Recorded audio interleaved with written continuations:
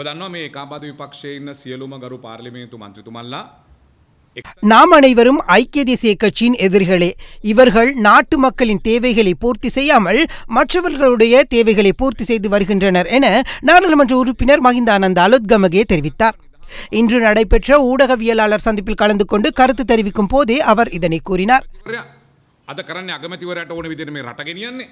එනිසා අපේ දේශපාලන න්‍යාය පත්‍රය තමයි එක්සත් ජාතික පක්ෂ විරෝධී දේශපාලනය. එනිසා එක්සත් ජාතික පක්ෂේ මේ රටට කන අහිත කර සියලු දේ මේ ආණ්ඩුව කර වැඩපට විරුද්ධව නැකි அரசுக்கு எதிராக நாளை நடைபெறும் பேரணி முக்கியமானது என்றும் குறிப்பாக ஐந்து விடயங்களை முன்வைத்தே இந்த பேரணியை நடத்த உள்ளோம் என்றும் இதன் போது கூறினார்.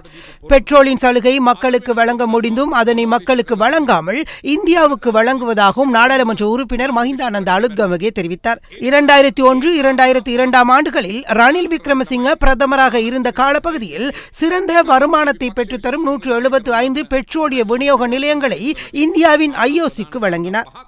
ඉලක්ක කරගෙන තමයි මේ ஐஓசி நிறுவனம் மாதம் ஒன்றிற்கு ஒன்று புள்ளி ஒரு பில்லியன் வருமானத்தை பெறுகின்றது. இந்த வருமானத்தில் ஐம்பது வீதத்தை நாட்டில் ஒரு முக்கியமான அரசியல்வாதியின் கையில் கிடைப்பதாக தெரிவித்தார். நாட்டில் தற்போது ஆட்சியில் இருக்கும் அரசாங்கம் நாட்டு மக்களுக்கு சேவையை வழங்காமல் இந்தியாவுக்கே சேவையாற்றுகின்றது. மேலும் இந்த அரசாங்கம் இம்மை கடன் அதிகமாக பெற்றுள்ளனர் என குற்றம் சுமத்துகின்றது. ஆனால் தற்பொழுது இவர்கள் கடன் வாங்கவில்லையா என நாடாளுமன்ற உறுப்பினர் மஹிந்தானந்த அலுத்கமுகே இந்த ஊடகவியலாளர் சந்திப்பில் கேள்வி எழுப்பினார். දැන් අපේ රටේ ආර්ථිකය ගැන කල් ප්‍රති තීන්දු ගන්න ඉන්දියාවේ කැබිනට් එක.